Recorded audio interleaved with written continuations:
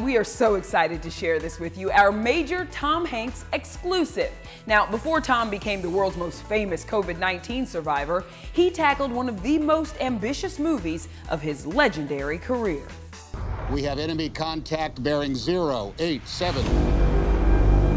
No one has any idea if they are going to make it. U-boat, starboard bow!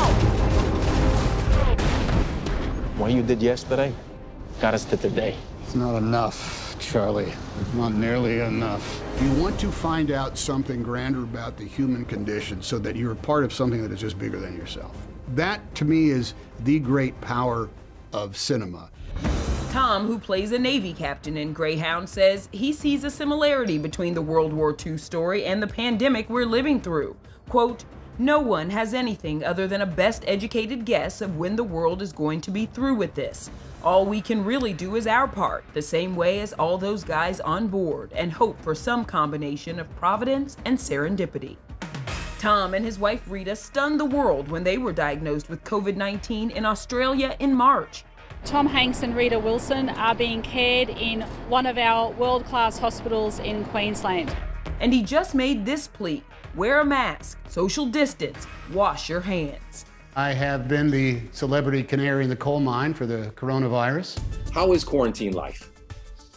You know, it is what it is. And in some ways, it's been a very creative time, and it's also been a very reflective time.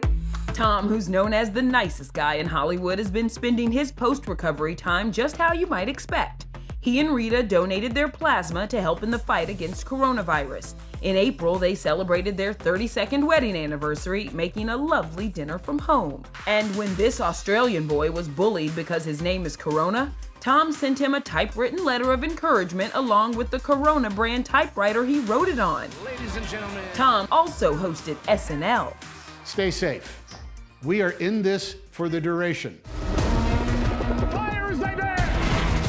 In Greyhound, out next Friday on Apple TV Plus, Tom plays a first time captain crossing the Atlantic.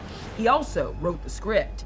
Just imagine any way a sheep would try to escape a pack of wolves, and you've got a ship trying to get away from the Nazi submarines.